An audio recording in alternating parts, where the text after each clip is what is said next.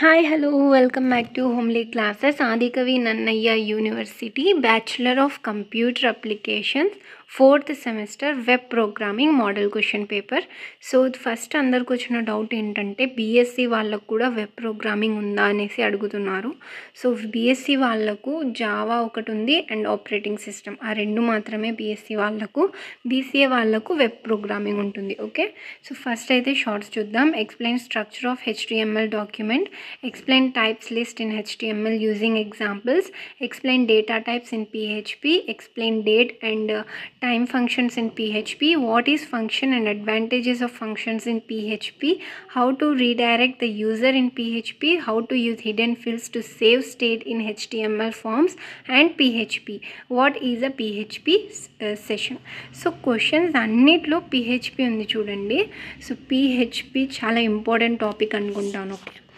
And shorts uh, అయిపోయాయి SS చూద్దాం Ninth, we explained table creation in HTML document. Ninth, we explained control structure in JavaScript. Tenth, we explained strings functions in PHP. Tenth, we what is an array and explain types of arrays in PHP. Eleventh, we explain file handling in PHP. Eleventh, we what is recursive function and create recursive function in PHP. Twelfth, we explain PHP with MySQL database connectivity.